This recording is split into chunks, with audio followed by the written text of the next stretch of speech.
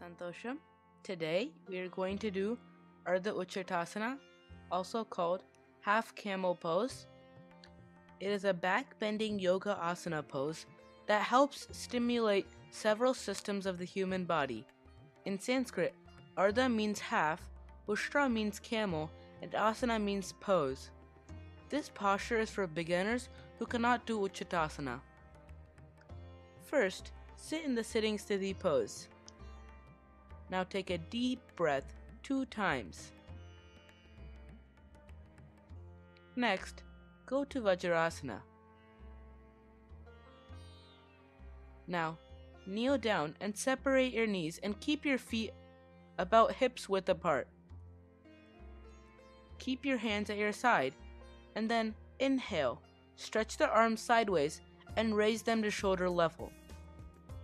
Now, exhale, tilt your body right and try to hold your left heel or ankle with the right hand. At the same time, stretch the left arm in front of the head. The head should be relaxed and keep it slightly back with the eyes gazing at the raised left hand. Push the hips forward and try to keep your thighs vertical from the ground. Take a deep breath two to three times while you are in the pose. Inhale, bring your arms back to your side by letting go of the heel. Now, we are going to do the same thing on your other leg. Inhale, stretch the arms sideways and raise them to shoulder level. Now, exhale, tilt your body left and try to hold your right heel with the left hand. Stretch the right arm in front of your face at eye level. Push the hips forward and try to keep your thighs vertical from the ground.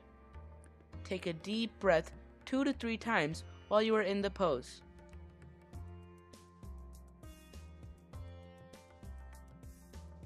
Inhale, bring your arms back to your side by letting go of the heel.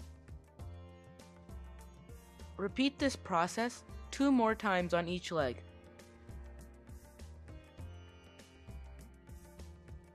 Thank you for watching. Santhosham.